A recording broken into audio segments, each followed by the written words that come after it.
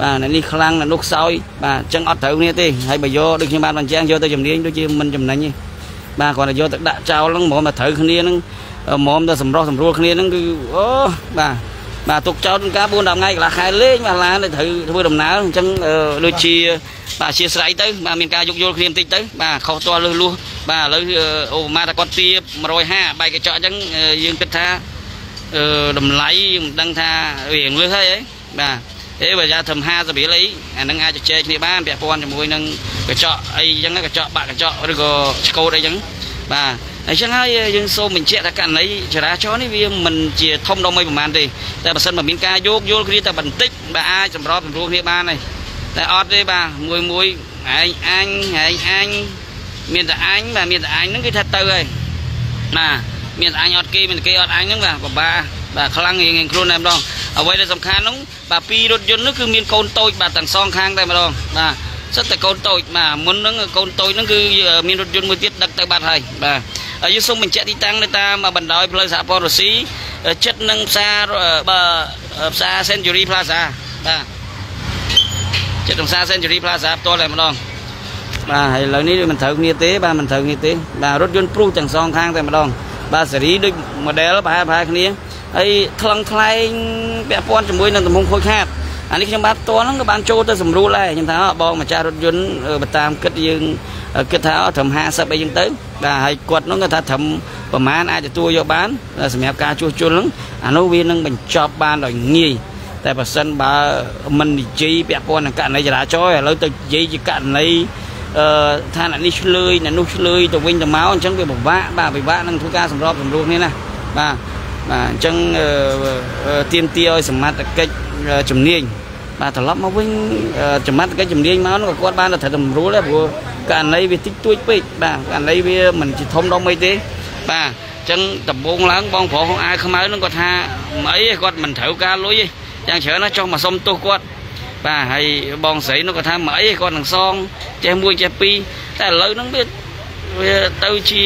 បងនោះគាត់ថាទា150បងស្រីគាត់ថាមាន20រៀល ត្រឡប់មកវិញគឺអត់ត្រូវគ្នាទេបាទប្រិមិត្តពុកម៉ែបងប្អូនបាទបាទអញ្ចឹងគឺมันមានត្រូវគ្នាទេបាទវា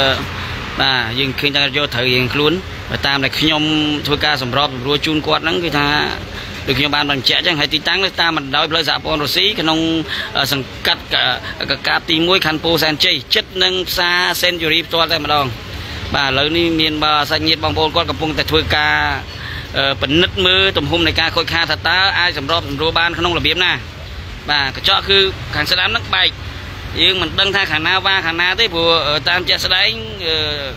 ខាងបងប្រុសអាខ្មៅនេះគាត់ថាគាត់វ៉ាខាងឡានមុខហ្នឹងវ៉ាស្ដាំហើយបងប្រុសថាអត់ទេបាទជិះមកហ្នឹងខាងឡានមួយទៀតហ្នឹងគិចចូលបាទអញ្ចឹងមានតែជំនាញទេបាទបើសិនបើជជែកគ្នាមិនត្រូវរឿងតូចតាច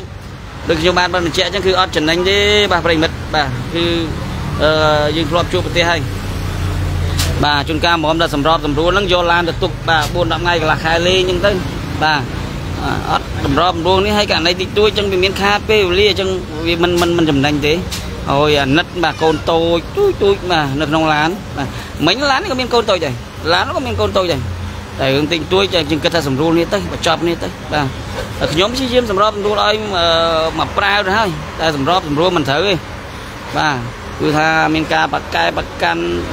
បាទរៀងរៀងខ្លួនបាទមានការបកកែបកាន់រៀងរៀងខ្លួនថានោះអាងគ្នានេះអាងគ្នា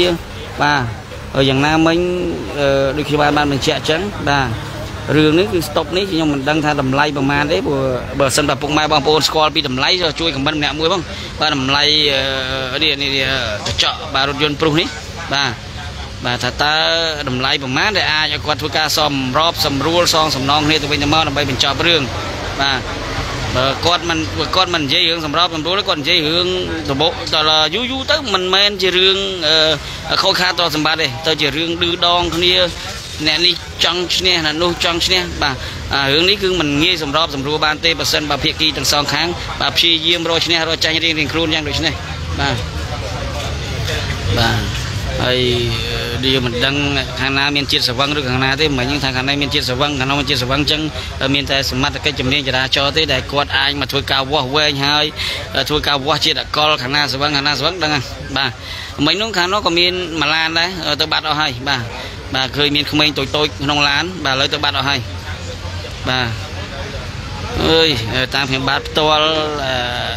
យើងធ្វើការសម្របសម្រួលជួយសម្របសម្រួលគាត់តែមើលទៅសម្របសម្រួលមិនត្រូវបាទប្រិមិត្តបាទបាទហើយសូមផ្ដល់ជាមតិយោបល់ជាចុងក្រោយមុននឹងបញ្ចប់បាទបាទគឺយើងកុំយកចិត្តឆេវឆាវបាទកុំយកកំហឹងទល់កំហល់ បាទมันมันព្យាយាមសម្របសម្រួលវាមិនចំណេញទេបាទតែឥឡូវហ្នឹងឃើញទេបាទប្រកែកគ្នាទៅវិញទៅមកបាទអត់ត្រូវទេបាទបាទបាទឥឡូវយើងទៅសួរនាំអស់គ្នាមកទៅបាទឥឡូវយើងកលេចមកមើលមើលអ្នកណាខុសអ្នកត្រូវបាទអត់យើងចឹងមកវីដេអូបើខ្ញុំមុនខ្ញុំខំតែខ្ញុំខ្ញុំមានវីដេអូបងខ្ញុំមានបាត់មុនទៅមើលឯងឯងឯងប៉ះបងអញណាឯងប៉ះម៉ែអញ ចឹងខ្ញុំទៅឲ្យចូលមុខអស់មកបងបាយទេបងទៅទៅទៅទៅបងឯងចង់ឲ្យខ្ញុំខ្ញុំខ្ញុំវីដេអូឲ្យលើឥឡូវអ្នកខ្សែទាំងអស់យកយកវីដេអូទៅទៅបាយគាត់ទៅគាត់ទៅយកវីដេអូទៅអស់បងចង់ឡើងឯងគួរបងឯងខ្ញុំអត់បងឯងចុះមកបងតបខ្ញុំបាយតែអត់ទេ បងបងមកជួបទៅទៅទៅទៅណានេះប្រិមិត្តបាទហើយបានណាក៏បានដែរប៉ុន្តែណែបងយកយកអ្នកបាក់ឡើងមកឯងបងឯងបានស្ដាំវាយមុខគាត់តាំងពីក្រោយមក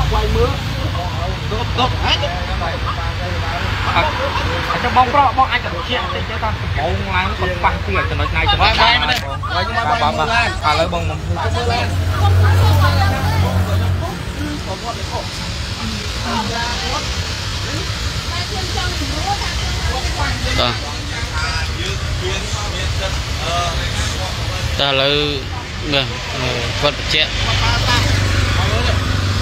បាយមើលបាទស្ដាប់យើងទីបាក់នោះក៏បាយយើងស្អាតស្ដាប់ហីវ៉ាខាងស្ដាំមកតើឥឡូវយើងស្ដាប់ភាគីម្ខាងម្ខាងដែលគាត់បញ្ជាក់បាទហើយបាទ ហើយយើងតាមគាត់បងគាត់ថាអត់ចង់ទៅណាបាទប្រហែលវាយកូនកញ្ចក់មួយចុះតាមគាត់ប្រហែលដីទៅប្រហែលប្រពន្ធចុះឥឡូវសម្រាប់ថាបងទៀមទាសំណងនោះប្រហែលដែរពាក់ព័ន្ធជាមួយនឹងការខូចខាតអត់ចង់បានទេតែឥឡូវអត់ចង់បានហ្នឹងចង់ឲ្យគាត់សុំទោសឬក៏មិនពីដើមទីវិញមកទៅសុំទោសបាទបាទ ចុះឥឡូវបើគាត់សុំទោសឬក៏យ៉ាងម៉េចដែរឬក៏បងត្រូវថាសំណងបើគាត់ចង់គម្រោងបញ្ចប់ឲ្យគាត់ទូទាត់ថ្លៃការទាំងអស់ប្រហែលដែរបងប្រហែលដែរ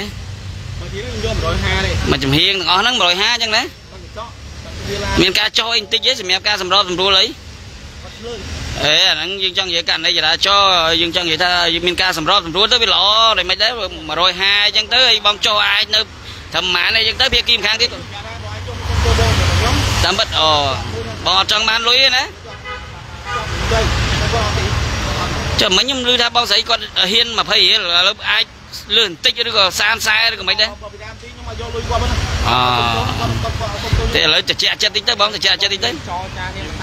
ជាយាមតិចចិត្តតិចទៅដើម្បីបញ្ចប់សាច់រឿងបើបងគិតអញ្ចឹងដែរយើងតិចចិត្តនេះឥឡូវ30 40 50អញ្ចឹងទៅដើម្បីបញ្ចប់រឿងអូបាទអត់គឺថាมันមាននិយាយច្រើនមិនអីគេថាយកទៅខាន់ បាទឥឡូវហ្នឹងអឺបាទដូចខ្ញុំបានបានបញ្ជាក់អញ្ចឹងបាទគឺ